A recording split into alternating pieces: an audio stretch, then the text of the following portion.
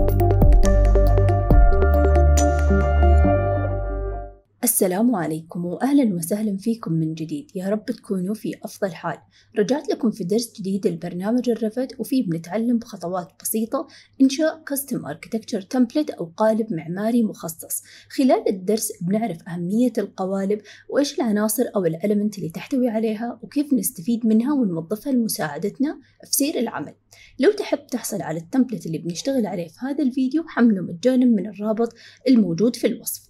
بينقسم الفيديو لثلاث أجزاء. الأول بنعرف العناصر أو ال elements اللي يحتوي عليها ال default metric architecture template الثاني ليه ما أنصحك تبدأ في قالب فاضي أو جديد تماما؟ أما الثالث بعلمك كيف تنشئ قالب معماري خاص فيك أنت وفريقك أو في الشركة اللي تشتغل فيها. خلونا الآن ننتقل لل Revit ونبدأ الفيديو. نبدأ في الجزء الأول وبنشوف الأشياء اللي يحتوي عليها ال metric architecture template الجاهز الموجود عندنا في Revit اللي هو ال default. لما نجي لل models ونضغط من هنا new نبدأ كأننا new project بنشوف عندنا مجموعة من ال templates هنا ال template file عندنا مجموعة من ال templates عندنا ال construction و architectural و structural وعندنا كلها imperial ونفسها موجودة في ال metric. فلو اخترنا ال metric architecture template عشان نشوفه ونبي نختاره إنه موجود في ال project يعني إحنا ما راح نبدأ في ال template بنشوف داخل ال project إيش الأشياء اللي يحتوي عليها هذا ال template نضغط على okay في البداية بنشوف أول طبعا ما نفتح المشروع إنه لو شفنا ال unit نضغط على UN في ال keyboard لل unit أو إنه نروح لقائمة manage ونختار ال project unit يعني اختصارها UN على ال keyboard. في مجموعة من الوحدات وحدات القياس اللي هو already مختارها لأنه محددها بحسب ال template اللي إحنا اخترناه واللي هو ال metric فمثلا نغير ال length من هنا من المليمتر ل meters و centimeters. ونضغط على okay نضغط على okay. في شيء جدا مهم إنه نعرفه إنه إحنا دائما لما نجي ونشتغل نختار project ونختار ال default metric architecture template هذه الأشياء أو التغييرات اللي بنحدثها سواء كانت في ال unit سواء كانت في ال scale سواء كانت في ال level of details ما راح يحفظها. يعني لازم كل مرة نبدأ مشروع جديد نغيرها. فإحنا بنتعلم اليوم كيف نسوي template خاص فينا بحيث إننا ما نعيد هذه الخطوات مرة ثانية. نرجع نجاوب على تكملة السؤال الأول. إحنا غيرنا ال unit. بعدها بيكون عندنا هنا ال four elevations هذه. ولما نحدد على واحدة منهم بنلاحظ إنها اثنين. لجينا للفلتر من هنا إنها اثنين. عندنا elevation وعندنا views. ولو حددناهم كلهم الأربعة كم بيصيرون؟ يعني بيصيرون ثمانية. ما راح تكون أربعة بس لأنها هي ك view ك لأنه لما نضغط عليها double click بيفتح لنا واحد من ال annota من واحدة من ال elevation عفوا. وأيضا تعتبر annotation اللي هي 2D elements في Revit زي ال sections يعني بتكون علامة من العلامات. ولما نشوف في ال project browser أيضا عندنا مجموعة من ال views الجاهزة مثلا ال floor plan وعندنا level 1 level 2 عندنا ال site ال ceiling plan 1 و 2 وال elevations الأربعة فكل هذه الأشياء موجودة في ال default metric architecture template طيب بالنسبة لل families عندنا Revit system families وعندنا loadable families system families زي ال walls آه عندنا ال floors وأيضا ال ceilings كلها تعتبر ال roof كلها تعتبر system family و loadable family زي ال component زي ال columns زي ال doors زي ال windows كلها تعتبر loadable family وفي مجموعة منها موجودة أو محملة أو loaded already في المشروع.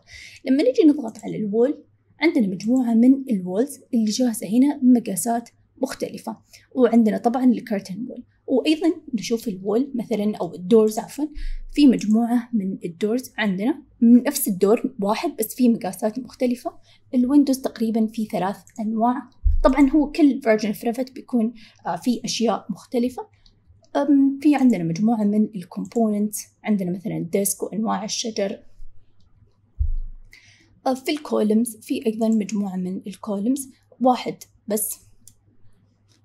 عندنا طبعا roofs و ceilings و floors لما نجي لل mullions عندنا مجموعة من الأنواع تقريبا خمسة أنواع أو ست أنواع اللي هو طبعا هاي ال mullions الأجزاء اللي نحطها على ال curtain walls عندنا لو اخترنا railing بيكون في تقريبا أربع أنواع. بيكون في عندنا الأربع أنواع في ال default template آه عندنا أيضا لما نروح massing and site ونختار site component في مجموعة من الأشجار اللي نقدر نحطها في ال site. فهذه تقريبا مجموعة أشياء كلها موجودة في آه ال template. ولما نروح لل project browser نروح لل families عشان نشوف كل الأشياء اللي موجودة في المشروع عندنا هنا كل الأشياء اللي محملة وموجودة. فلو إحنا ما نبغاها كلها مثلا عندنا ال railing هذه كل الأنواع اللي موجودة عندنا مثلا ال floors ما نحتاجها كلها أو ال doors أصلا ما نبغى هذا النوع تماما كيف نحذفه؟ هذه الأشياء اللي نتعلمها الآن.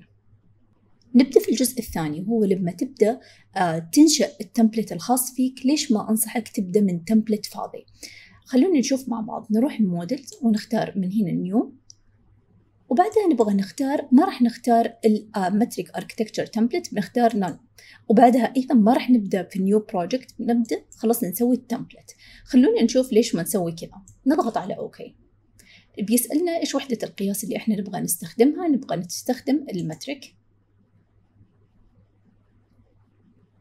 طبعا زي ما إحنا شايفين أول ما فتحنا ال project حتى ال elevation symbols وال views ما هي موجودة عندنا بيكون فاضي تماما. وأيضا لما نروح لل views نفتح من هنا بيكون عندنا structure و plan و ceiling كلها بس level 1 level 1 level 1 وما عندنا أي elevations ما عندنا أي site plan ما عندنا أي section فبيكون تقريبا فاضي تماما.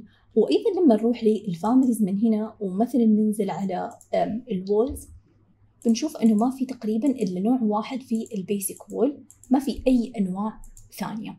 ولما نروح لل walls أيضا من هنا عشان نشوفها ما في إلا نوع واحد لل walls وال curtain walls ولما نشوف أيضا في ال doors لما نضغط عليها بيقول إنه ما في أي doors family loaded في ال project you want to load one? ولا واحد ولا ال windows بتكون فاضية ولا component لما نختارها. يعني بيكون فاضي تماما. بنروح massing and site site component بيقول لي أيضا ما في. لأنه في أشياء نقدر نحذفها بس بدون ما يكون عندنا ال project فاضي تماما. الآن إحنا طبعا لما نبدأ ب template ما راح نبدأ نرسم فيه بيكون فاضي. لكن على سبيل المثال لو بنرسم بهذا الشكل كأنه غرفة. لو نبغى نسوي room tag فبنروح ال room نحطها. أيضا ما في room tag بيقول لنا do you want to load مثلا نختار yes بنطلع لل English نروح ال annotation نختار room tag اللي هي مثلا ال metric room tag نضغط على open ونحط ال room tag يعني كل شيء بيكون عندنا ما هو موجود بنضطر إن نسويه من البداية. وأيضا لما نبغى نحط مثلا section نرسم section مثلا بنشوف إنه ال section ما في ال head وال tail لو حتى ضغطنا عليه وضغطنا على edit type ورحنا من هنا عشان نختار بيكون فاضي تماما وما في أي شيء لازم نروح نسوي له load فإحنا عشان نسوي له load نروح نختار file open أو حتى نختار من family load مثلا من file open وبعدها نختار family نختار ال English. uh, بعدها بتكون جزء من ال annotation بنشوف section uh, head مثلا نختار واحد من ال sections وبعدها نضغط على open. وبعدها load to project. بيكون هو مسوي له load لل template نضغط على ال edit مرة ثانية اللي هنا ونختاره. مثلا okay okay فبيكون عندنا بهذا الشكل. أيضا لو جينا نبغى مثلا نحط grid بنروح لل architecture ونبغى نحط مثلا grid نرسمها بنشوف إنها بتكون فاضية تماما. لو جينا حتى محطوط هنا صح محطوط هنا صح لكن ما هي موجودة. فلو نبغى نسوي لها load آه بنروح من ال آه، ونختار مثلا load family ونختار من هنا ال grid مثلا ال head ونحدد عليها. فيعني بياخذ وقت جدا إننا إحنا نسوي كل هذه الخطوات لأنها لو جينا بنلقاها فاضية قبل لا نسوي لها load فنضغط على okay مثلا حتى لو الحين نبغى نفتح ال elevations مضطرين إن نروح بعدها نحط elevation مثلا نحط ال elevation هنا. لازم نسوي لها load مثلا هنا وهنا نضغط عليها double click بس عشان يطلع لنا ال elevation طبعا هي موجودة بس ما هي هذه ال symbol لل elevation لو ضغطنا على edit type بتكون ما هي موجودة none. لازم نروح نسوي لها load يعني بياخذ جدا وقت إن نسوي كل هذه الأشياء البسيطة اللي أصلا ممكن كنا نستفيد منها من ال default template آه، فبنروح مرة ثانية ل insert ونختار load family. ومن هنا مثلا نختار واحدة من ال elevations لو نبغى مثلا هذا ال elevation نضغط على open. بعدها نحدد عليها. من هنا مثلا نختار هذا النوع. نضغط على okay okay فصارت عندنا مثلا بهذا الشكل. لو فتحنا ال elevation نفس الشيء مثلا الآن لو نبغى نضيف levels بتكون بدون أي symbol وبنضطر إن نسوي كل هذه الخطوات اللي إحنا مستغنين عنها. فعشان كذا نستفيد من ال metric architecture template لكن نسوي له customization بحيث إنه يكون template خاص فينا. ننتقل للجزء الأهم وهو كيف ننشئ ال template أو القالب الخاص فينا. نروح لقائمة اليوم. ونختار من هنا ال metric architecture template وبعدها نختار project template لأنه إحنا نبدأ نشتغل نبغى نشتغل في template ونضغط على okay أول شيء وأهم شيء نبغى نسويه أو نحدده لكل دائما لما نفتح أي مشروع نغيره اللي هو ال unit. نضغط على UN أو طبعا زي ما تعلمنا من قائمة manage آه ونغير ال length. ممكن تغيرها لوحدة القياس اللي أنت دائما تشتغل فيها مثلا meters و centimeters ونضغط على okay. الشيء الثاني دائما إحنا لما نشتغل بمشاريع هذا المكان يكون عندنا ضيق. فلو نبغى نبعد ال views واس ال elevation symbol إنها تبعد شوي عننا آه، بحيث إنه حتى لما يكون عندنا site كبيرة ما تكون داخلة في ال models فنبعدها نحدد عليها نضغط على ال MV على ال keyboard أو نختار من ال modify اللي هو ال move tool ونبعدها مثلا نخليها 25 نبعد كل واحدة منهم نحدد ونتأكد إن ما لما تجي تحدد عليها ما تختار واحدة منهم لأنه زي ما قلنا هم اثنين. نضغط على ال MV مرة ثانية ونبعدها بشكل مستقيم 25 طبعا أي مقاس أنت تفضله. مرة ثانية ممكن نضغط على ال mouse right click ونختار repeat command واللي هو ال move ونحركها 25 وأخيرا repeat نختار ال MV ونختار خمسة. وعشرين. فكذا إحنا سوينا الخطوة الأولى. طبعا هذه الخطوة ما راح نضطر إننا نسويها لأنه بتكون عندنا في ال template جاهزة. وطبعا في ال template ما نرسم ولا شيء هنا دائما نخليها فاضية. الخطوة الثانية اللي بنسويها ممكن نغير ال scale لأنه دائما في Revit لما نغير ال scale من الصغير للأكبر مثلا من 100 ل 500 كل الأشياء مثلا عندنا آه، بالذات إن ال symbols كذا بتخرب علينا أو ال annotation بتصير شكلها مرة كبير. فمثلا نغير ال scale بكل ال views 200 وممكن نغير ال level of details ال medium نغيرها في كل ال views.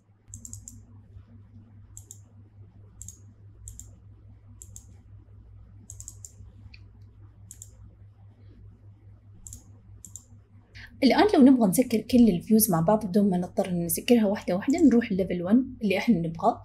بعدها نروح لقائمة view ومن هنا نختار close inactive فيسكرهم لنا كلهم بنفس الوقت ويخلي عندنا بس ال view ال active اللي إحنا شغالين عليها.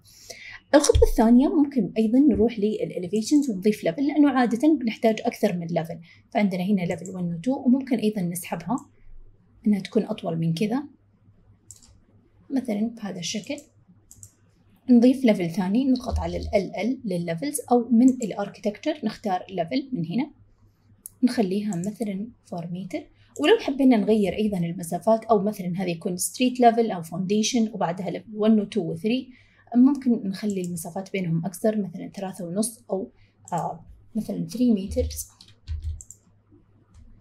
بس ننتبه إنه مو هذا اللي يتقدم دقيقة. نرجع هذا الصفر. هذا اللي ينزل لنا ثلاثة ومن هنا نغيرها بدل خمسة نخليها ثلاثة بحيث إنه ينزل لنا على تحت. طبعا هي تعدلت في كل الفيوز بس نحتاج إننا نطولهم.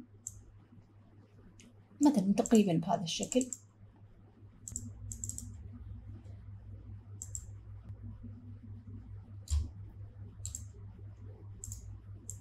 نسحبها شوي كذا ونخليها ماشية مع بعض أو بادية مع بعض.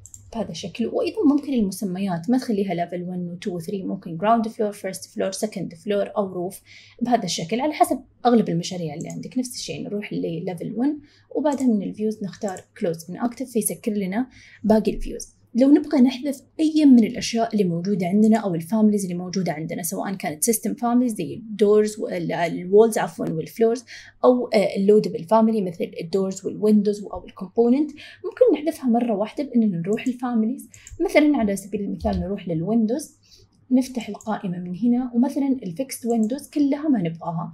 فنحدد عليها كلها في ال shift ونضغط في الماوس right click ونختار delete فحذف لنا إياها كاملة. حتى ممكن نحذفها delete من هنا إنه نحذف ال type كامل بدون ما نحدد عليها. فكذا تخلصنا منها إحنا ما نبغاها.